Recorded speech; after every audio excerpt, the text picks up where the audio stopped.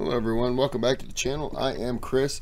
This is the final video of the uh, how Islam saved Western civilization. We're just gonna knock the rest out in one video. Okay, so this is part eight, if you're keeping up, and video. So notice the dates, though. We are told that the Dark Ages start when Rome falls on September 4, 476 AD. I told you at the beginning Rome didn't fall that day. It fell May 29, 1453. How do I know? On that date in September in 476, all that happened was Romulus Augustus, the Western Roman emperor, took off his purple robes, stuck it in a box with a note, sent it to Emperor Zeno, the Eastern Roman emperor, and said, There's no reason for two emperors. Let's just do one. You're it. I abdicate. That's not the same as Rome fell. On May 29, 1453, Ottoman soldiers entered Constantinople, the Roman capital, and captured it. And Rome ceased to own any real estate. That's when a state falls, is when it doesn't own real estate. That's how I know Rome didn't fall that moment. But what we are told is that the Dark Ages, the Middle Ages, the medieval period starts with the fall of Rome in 476 and doesn't end until sometime around 1492, that it lasts a thousand years. There's a thousand years without knowledge. But I just showed you that there was actually extraordinary developments that were taking place, including calculus 600 years before Newton.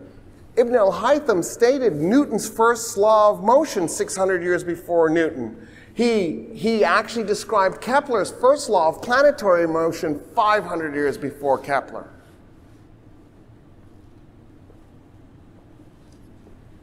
One, I was working on my, gra my graduate degree I started to get into Heidegger, who is very controversial, but that doesn't mean you throw the baby out with the bathwater. He was a Nazi for 11 months. Bad Heidegger. Bad. Bad. He denounced the Nazi party after 11 months and said, You're all a bunch of charlatans. I reject you. And then he spent the rest of World War II as an outcast. But still, that 11 months were gross. Uh, he got his professor fired and then took his job. His professor was a guy named Husserl. He was Jewish. I, am doing this because I just don't want anybody to be confused about why I'm reading Heidegger. I'm reading Heidegger and I realize something in his bibliography. He's co- I just I almost pulled this thing up. I just want to say, and I'm not defending this guy. You can still be a genius, a brilliant person and be on the wrong side of history, being a Nazi, probably not that guy's. It's not what he bragged about first, I would say. But that doesn't take away from the, the brain, you know, the, the knowledge. And he did it for 11 months. I think he kind of realized, yeah, this probably isn't for me. It sounded like a great idea, turned into a bad one. And I think that that says a lot. And he didn't stay in it. I think that's better um, that he did get out. Yeah, bad. But he got out of it, so that tells you at least he was smart enough to to to push back and say, eh, I don't want a part of this. I don't know anything about this person. So I'm just kind of defending him a little bit. Those 11 months, probably the worst example of this person's life but if if you just have an 11 month span where you could say this person was terrible, and let's say they lived to be 80, then you have a 79 year window of something to probably be proud of. I'm just throwing that out there. You know, you could still be smart and be on the wrong side of history. Was my point. Shh. Quoting Ibn al-Haytham and Ibn Sina. And at the time, I didn't know who they were, so I went, "Who are these guys?"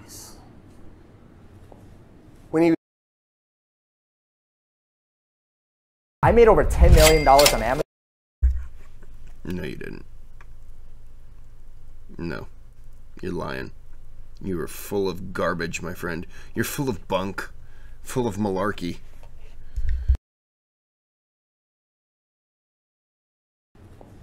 When he was quoting Ibn Sina, the reason he was quoting Ibn Sina is because his teacher, Husserl, who by the way was brilliant, he shouldn't have fired him. This is ugly.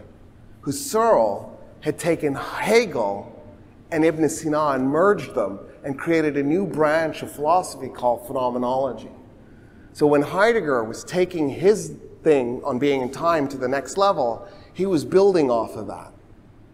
And then, of course, um, that became the moment when philosophy in the world completely changed. Everybody who hates Heidegger is still a Heideggerian. There's no going back. Heidegger changed philosophy. He grabbed it, he shook it, he flipped it upside down, and he redid it. But part of his inspiration for this was that conversation I had with you earlier about Ibn Sina and the nature of the universe. He took and built on that and then changed philosophy forever. So even though the guy was a thousand year old thinker, he was still playing a major role 100 years ago in changing the way we do philosophy. In other words, there's no separation between any of this, it's all connected together. One last thing. So the Arabs had idiomatically translated Aristotle into Arabic. When the Spanish were conquering Spain from the Muslims, they kept encountering libraries. The popes kept issuing edicts to burn all the books, just like when they had burnt the Great Library and just when they shut down the Academy of Athens. They wanted to continue this. The thinking went, you only need one book, it's the Bible. Why are we doing this science stuff? We don't need this. What we need to do is purge the libraries of all these books that make me feel uncomfortable. Oh, no, that's now. Oh, wait, no, that was then too.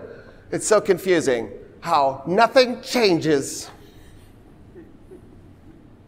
We don't learn. Well, the monks who were set us. Well, we do learn. We learn that if we don't agree with something, it cannot be taught.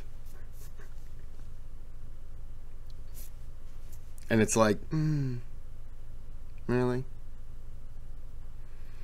I don't agree with that because blah, blah, blah, blah, blah, blah. Okay. You don't have to agree with it. You don't have to agree with something and it can still be true. We do that today who were ordered to destroy the books were the Benedictines and the Dominican monks. The Benedictines and the Dominican monks didn't obey the order. What they did was they dug giant underground libraries beneath their monasteries. When they would show up to the place with the Muslim library that they had to burn, they would read, they would have a guy read they had a guy who would stand here and they had the book. They would turn the book so it was facing him so he could read it. He was a human card catalog. He knew the list, the names of all the books they had in their secret underground library. So as you would walk by, he'd read it. If he recognized the book, he'd give you one signal and you'd dump it in a pile in the middle of the town.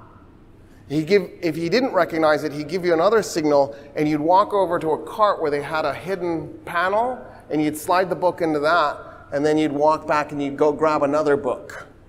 And then you'd carry it so that that guy could read it and then, oh, that one goes in this pile. And then afterwards, they'd set that. So what? I'm I'm going to guess that the pile they're setting on fire is the pile of books that they already have. These would just be copies, so we don't need to keep them. We already have this, uh, you know, the same book. That's my guess. You want to bet? I'll bet you a hundred thousand million dollars right now that I'm correct. not a real bet. Void where prohibited. Um, not eligible in the state of Maine. Pile on fire so they could show everybody they were burning the books. And then they'd sneak the other books into their underground library where they were busy translating it from Arabic into ancient Greek and Latin. And that's how we have Plato and Aristotle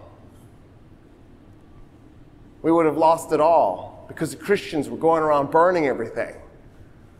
What happened that was not only did the Benedictine and the Dominican monks have second, second thoughts about this and refuse to follow their orders, it's good to not follow orders sometimes. But the Italians went, you know what I miss? The good old days when we had science and math and philosophy. Why don't we do that again? And sometime around 1300, they do the Renaissance. 1300, the Crusades end in 1291. After the Crusaders start coming back, they go, You know what we saw when we were there murdering all those Muslims and Jews? They had indoor plumbing and medicine and crop rotation. They're talking about things have gravity and that light has a finite speed and that the universe originates from a point of information. And the Italians go, oh, wow, that's so cool. Let's do that here. Isn't that crazy? All right, let's do Q&A for a few minutes and then, I, and then we have to go. Absolutely. Okay, so the question is, does the Arabs being in Sicily for two centuries have an impact on the creation of the Renaissance? The answer is yeah, there was a guy named Frederick II. He happens to be one of my favorite ever rulers. So the Vikings conquer northern France at, at one point. They rename northern France after themselves. They were the Northmen, Nordmen, Norsemen. They rename it after themselves. They, call, they were called the Normans. They call it Normandy. The Nor- Normans at some point get really bored. They're like, dude, I'm Now that's pretty cool. I'm sick of watching peasants grow things. When was the last? So they're saying it in French, but with a Viking accent, right? Because they stopped speaking German and they started speaking French. So just imagine, you know, like the, the lilting, I can't do it, Dagen, right? Something like that. That means happy birthday. Um, so g- get that going in your head, but do it in French. Je m'appelle Sven, ja. It must have been horrific for French speakers to hear this. And they, one day they're just like, you know what, dude, let's go kill somebody. Now, the original killing event, they went to Spain actually, and they captured Barabos, which today is Saragossa. It was a Muslim city. They capture it, and they're like, wow, this is awesome. So I need you to have in your head redhead and blonde head Vikings with long hair and braids and big beards, right? And they're just, they're just, you know, they got an axe, they're ready to hack people to death.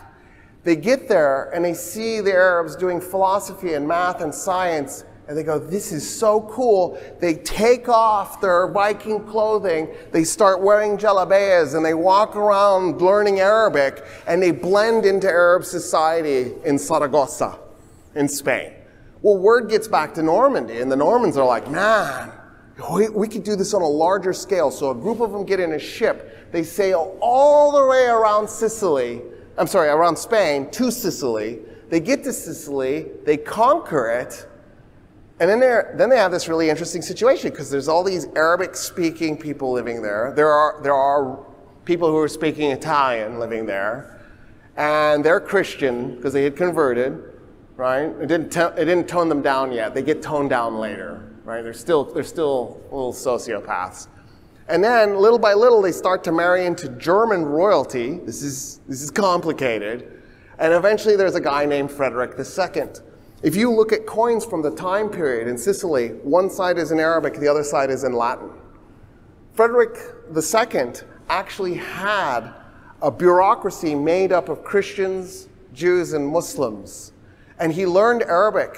He didn't just learn Arabic, he spoke Italian and German and French and like I think two other languages. The dude was just is that a polyglot? I forget what the there's a polyglot, a polyglot. Anyway, whatever it is, he was that guy. And he would read texts in the original Arabic, and then sometimes he'd translate them in Latin. He even did his own science. He's so in love with the Muslim world that, that after throwing the Crusaders out, he was approached to see if he wanted the title of King of Jerusalem and he didn't send an army and conquer it, it was just a symbolic gesture. He eventually will become the Holy Roman Emperor, which means he also owned Italy and Germany. And he's spreading his ideas. He got into falconry, right? The quintessential Arab sport. Like he's out there with falcons reading original Arabic script, learning how to do this. Uh, and it pissed off the popes. He got excommunicated twice. He led an army to Rome twice. He conquered it and captured the Pope and cut his head off a couple of times and instituted new popes a couple of times.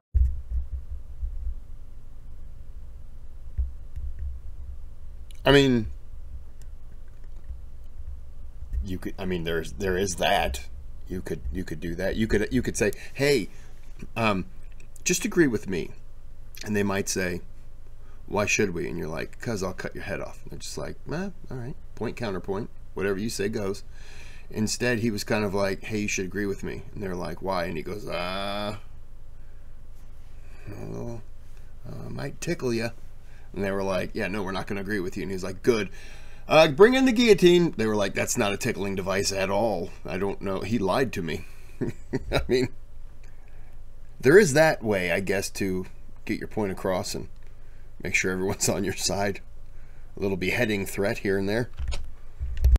Times, because all that sciency stuff that he was learning was apparently corrupting his soul. But yeah, it's the same time period. It's, the, it's that moment when Italy is rethinking maybe burning the books wasn't a great idea. So you have two ways of thinking about this. You can pretend that Islam held on to Western civilization while Western civilization was burning itself to the ground, and then Western civilization just reconstituted itself. Or you can realize the truth, which is that the Arabs were Western civilization all along. Islam didn't necessarily save something that it wasn't, it saved itself. It just took it to a new level. The Arabs weren't doing something that was alien to them. They were part of Western civilization. They even had a Western civilization religion because, right, an, Islam is an Abrahamic religion. So they had all these Western civilization traditions. When they conquered that part of Rome and Persia, that, that was part of Western civilization that had never stopped being Western civilization. What happened is you were taught it in an Islamophobic way, so all the Muslim parts were just simply deleted. And so now we think of this as an east-west divide, and somehow the Muslims are on the, on the east side of it. They're not. That woman, when she told me Egyptians are Easterners, she's just flat out wrong. This is part of Orientalism. It's an attempt to make you see the world as us versus them. It's not. It's just not. In Texas, for example, we do community property divorce. We got that from Mexico. Mexico is Catholic. It didn't have divorce. Mexico got it from Spain. Spain is Catholic. Spain didn't have divorce. When the Arabs ruled Spain, they got sick of all the deadbeat husbands who were divorcing their wives for younger models and then leaving the children to be raised by those divorced wives who no longer had a source of income. So there were all these kids living in the streets. So what, what, the, what they did in Spain was they created a system where all the property generated from the moment of the marriage's start to the moment of the marriage's end got split in half, period, end of story. That's community property law. So, you know, you'll hear this thing that conservatives will say, I'm worried about Sharia law. Well, then don't get divorced. Because that's Muslim law. The taco. When the Spanish conquered Mexico, they said, make this. The thing they were saying to make was shawarma, because the Spanish were Arabs. They were just self hating Arabs who rejected their Arabness. So they had flatbread food with meat in the middle and then vegetables and a sauce you put on it that they would fold like this. The Aztecs go, We don't have those ingredients. The Spanish go, You're our slaves, we're going to kill you, make it anyway. So the Mexicans went, Fine, and then they made a tortilla and they put meat on it and they did a salsa because they needed the ingredients because they didn't have tahina and they were just stuck. So the next time you're eating tacos, remember that it's actually originally Arab food. It's just a Native American version of Arab food. I love tacos. As he was saying it in my mind, I want to end this video and go get tacos. It's a little too early though. It's 9 9:16 in the morning. Damn if I don't want a taco. I have enchiladas. It's not the same thing. But it is a tortilla with meat, refried beans, chili, cheese, and red enchilada sauce and it's rolled up. And you roll up 8 of them in this pan and then I pour the rest of my red sauce, some chili, and then like two cups of shredded cheese on top, and then you you, you cook the meat in advance, and then you just throw it in a hot oven, and it just basically melts the cheese and kind of everything's already cooked, but it just kind of warms it all up again. It's delicious. Damn it, now I want enchiladas. But I already had breakfast, and I had breakfast like three hours ago. Enchilada snack, maybe? Possibly. Al pastor. You're like, ah, that'll work. I'll eat pork. That way I don't have to actually eat Arab food because Arabs don't eat pork. So, about a little bit less than 200 years ago, 150 years ago, Arabs started to move to Mexico. Those Arabs wanted to make shawarma. They're like, my God, tacos are basically just shawarma. How did that happen? Because they didn't know the original story. So they're sitting there going, ah, I want to make the shawarma with lamb. I need a fatty meat. There just isn't enough Is he about to say this is how gyros are made? fatty meat and pork. And so the Arab Mexicans, if you've ever been to Mexico and you've eaten al pastor off the thing, it's the shawarma thing, but it's got pork on it. In other words, al pastor is Arab food twice. We're all interconnected. There's no separating any of this out from anything. Our language is like this. Admiral is an Arabic word. Zenith, nadir, algebra, those are all Arabic words. Zero is an Arabic word. Apricot is an Arabic word. There's no winning if you really wanted to do this because we, there's no separating us out from each other. Okay, so the question is why did Christianity reject all that philosophy and, you know, right, set everything on fire at the same time that Muslims were embracing it? I don't think there's a simple answer. I think, you know, there's, there's a historical moment that Christians found themselves in uh, as the Roman Empire was in decline. Right? The Roman Empire almost went away in the third century. Diocletian saved it and reconstituted it. By that point, it goes Christian. And then on that, as, as the Roman Empire goes Christian, it's, it's in a terrible position. Its economy is garbage. Um, the population is poor. The population is small. Rome at one point was a million and a half people. By the time we get to the 6th century AD, there was about 50,000 Romans living in the city. So, so Rome itself was diminished. And I think in that moment, there was this sense of it's hopeless, everything is falling apart around us. Let's turn to religion. We'll focus on religion. We'll just try to save our souls. We're not going to worry about the material world. And so I think that was the basis of the rejection, that it, it came out of a sense of despair. But in the, in the same time, the Muslims were making this brand new empire. They were filled with vigor. They had this new religion.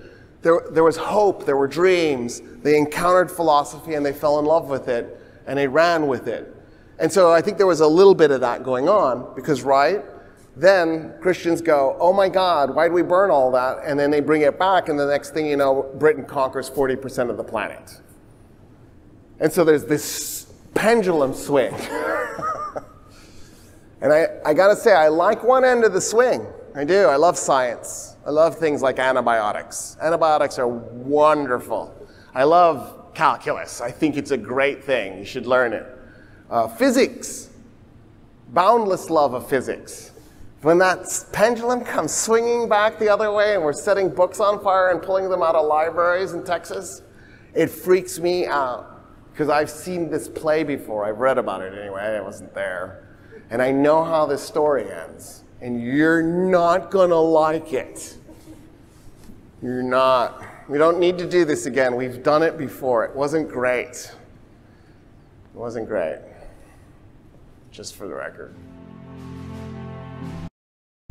Okay. I agree. We don't need to see the burning of books. Okay, well, I'm going to end this here. That was a good video. Very interesting. So, there's a thanks button. You can donate to the channel. You don't have to. All donations are appreciated. You can request videos. You can request videos without donating. They just take a little bit longer. Subscribe to the channel. That's a nice thing to do. Give a thumbs up. Just go and click it right now. Go ahead. I'll wait. All right. And then there's the thumbs down button. And if you want to hit the thumbs down button, you can. I'm going to just just like the one guy, I'm going to come to your house with this tickling device. And what I do is I strap you down in it and then I pull a rope and this sharp metal blade comes down. And I haven't decided where I'm going to have it hit but it's gonna hurt for sure. I'll probably do one like you know, like a hand, and then we do the other hand, and then we do a foot, and we do a foot. Don't worry, we will tie it off so you stay alive, because that's the key. I'm not a murderer, you know. And then we'll we'll put it in. Next time we'll go at the elbow, and the elbow, and then the knee, the knee. We'll tie it off, make sure you're alive. If you go into shock, we'll we'll wake you up. You don't worry about that at all. We'll keep you alive. Put you in the hospital, and then you recover and then we take you right back to that magically little tickling device. And we just go a little further and a little further until eventually you're just a you're just a body just rolling around. Good times. So until next time, you have a good day, have a good night.